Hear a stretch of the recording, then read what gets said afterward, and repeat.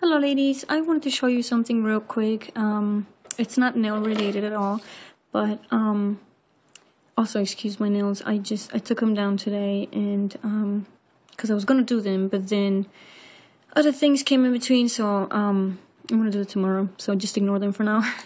but anyway, so I wanted to show you this bracelet that I put together. Um, I had these charms that Latina Nails sent me.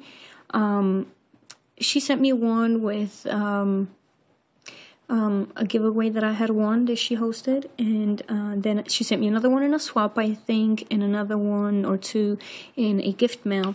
And I actually have this one left over that I couldn't fit on here because my like my wrist is really small. I don't know if you can even tell, but um, on camera, but it's really small. So this is this is the whole length that I could go, and um, otherwise it would fall off.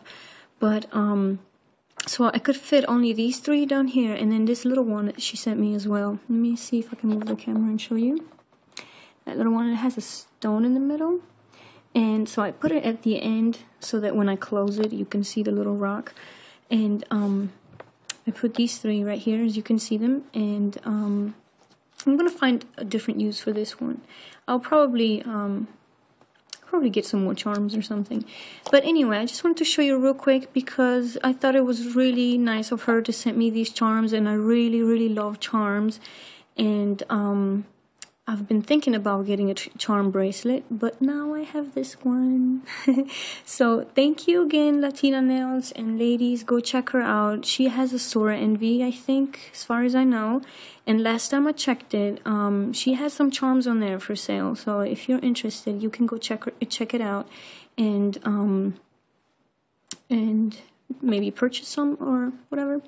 Anyway, um I'll definitely check it out again. Um, I just wanted to see how many charms I was able to put on this one, and um, I have a bunch more chains. Um, so I'll probably go order myself some more. But um, anyway, I just wanted to show you this real quick as a thank you for sending me these charms, and um, I'll see you again soon. Bye.